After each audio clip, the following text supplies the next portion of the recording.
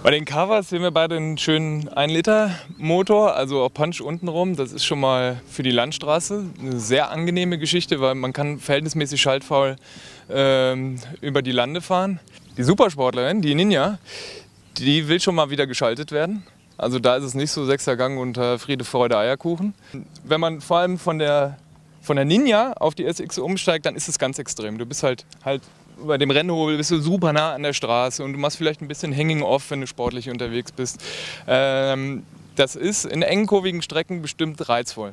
Das macht Spaß. Du hast auch ein besseres Gefühl für die Straße. Also du kriegst ein besseres Feedback ähm, über das Fahrwerk. Aber äh, ja, und das ist bei der Tourenvariante ist es alles gefilterter. Du kriegst halt nicht mehr ganz so viel mit, aber du kriegst immer noch ausreichend Feedback. Unterm Strich kommt es dann auf der Landstraße auf an, was gefällt einem besser dann auf Dauer, weil man ist länger unterwegs. Und dann ist für mich persönlich die äh, Z1000 SX der Favorit.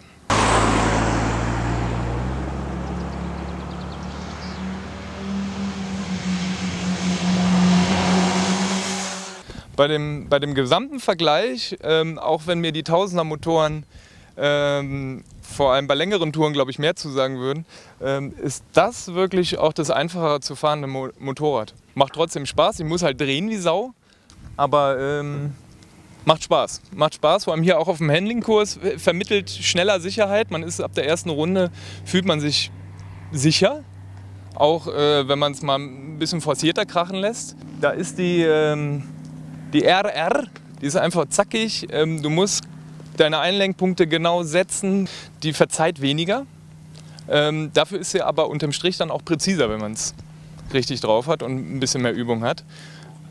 Aber auch anstrengender, klar, du musst ähm, eine sehr sportliche Sitzposition einnehmen, du musst viel halt über die Oberschenkel, du hast dein ganzes Gewicht auf den Rasten, links, rechts, links, rechts. Ähm, strengt auf Dauer an, klar. Ähm, ist halt eine Sportpfeile. Damit war zu rechnen.